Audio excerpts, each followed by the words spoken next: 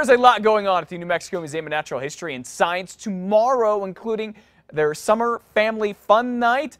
The best of all, part of this is it costs just a dollar to get in. Here now with more on this is uh, Randall Gant from the museum. Randall, good to see you, buddy. Good morning. How are you? All right, I'm doing well, thanks. And you? I'm doing great. Uh, yeah, I guess so. You have a dollar family fun night. There's a lot of stuff going on and whatnot here. There is a ton of stuff going on at Dollar Family Fun Night. Dollar to get in, dollar planetarium shows, dollar hot dogs, dollar Wow. uh, candy floss, I believe they call Candy floss? Cotton candy. That right? sounds like it's uh, uh, like a redundant thing, or not that redundant. It sounds like an oxymoron. How can you uh, eat candy and floss at the same time? Wouldn't it be great if you could? You could Yeah. kill two birds with one stone. so. Okay, all right, that would be bad. That'd be bad. Kill Not- two birds with one yeah, stone. you have a lot And of animals there. Yeah. Yeah. Um, We also okay. have there'll be live music there from a band called G's Louise. We're going to have it out front uh, where Spike and Alberta are sitting. Uh, we'll have curators out. Uh, the Lapidary Studio folks will be there. Tons of things happening. It's all a dollar. Planetarium shows are a dollar. And That's we have it. another exciting thing going on there. Uh, at, at the National Hispanic Cultural Center, we have the Torreon that has the fresco, the 4,000 foot fresco. And the artist that painted that, took him Whoa. over 10 years, is going to be there. No kidding. We have that digitized. We're going to show it on the full dome of the planetarium at two of the shows, and he's going to explain it, how he did Okay. it, what it's behind it. So All right. a super fun night. Okay, and how much is it one more time? I believe it's a dollar. You believe it's a dollar? Yeah, that is good stuff. a buck. Uh, a buck. Okay, so a lot of good stuff. Of course, what kids are really interested in these days. Oh my goodness, this is heavy. Um, dinosaur bones, fossils. You know, we've had a lot found. We always have a lot found, but a lot of been making the news here in New Mexico. This one, um, tell me about this. You brought one here with you that kids will be able to see. Yep. What is this, Randall? Well, one of the things that we do at these kinds of nights, family summer science nights, and all the PET events, is we have our people from behind the scenes bring out things that people don't normally don't get to see. They're not on display. Really? They're in the collections, and that's what this is. This is a fossil Wow. from a T-Rex. This This- specimen I'm is, holding a Tyrannosaurus. Yep. This is the eye, so this would be the right occipital.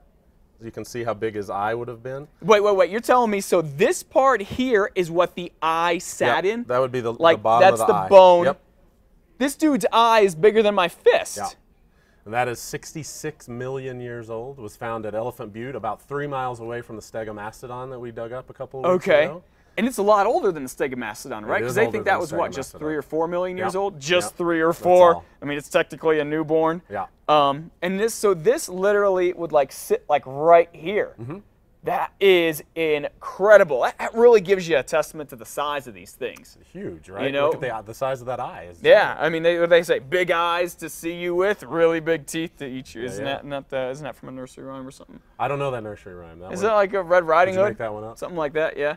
All right. So this is actually here. You know what? You put this back because All I know part of it is a little. yeah, yeah. We just have to be just a Uh, little yeah, bit careful. I- with it. I don't wanna be You don't want to involved break something with- 66 million years old now. You know, I can't just go down to Walmart and pick up another one of those. No, no, you cannot. Um, okay, so we got that. Again, people are, are. Do kids like when they go to the museum? Are they allowed to touch some of this stuff too? When we bring things out like this with the people from the collection, with our collections manager and our, our fossil works preparator, preparator, preparator, that's Yeah. a tough word to say. It is. Uh, they come out. They will. Kids will be able to handle some of these fossils. We'll show them to them, let them touch them, look at them, talk That's to them. So that's, The um, whole idea is to get kids interested in science, and Yeah. So that's what this whole night is about. That's why it's cheap. We're bringing in families from Espanola, Okay. uh, bussing them in because Okay. to work on our statewide statewide outreach and whatnot. It's a it's one of those days where the words are not coming out. Yeah, it's it's all right. It's it's Monday morning, Randall. Come on, Monday it's morning. Monday morning for all of us. So again, tomorrow night at the shows. Or at, at the shows. Eh, see what you do to me, man. You mess me up. It's all your fault. We could call it tomorrow, the shows. At the, There'll be a the- lot the going New. Mexico Museum of Natural History and Science. Look at this. This is just the, the whole the whole segment's going downhill and whatnot. Randall, go to kasa.com. click on the blog. You'll find out more. Randall, thanks for coming in. Thanks, thanks for bringing this thing. 66 million years old. I promise I'm not going to drop it.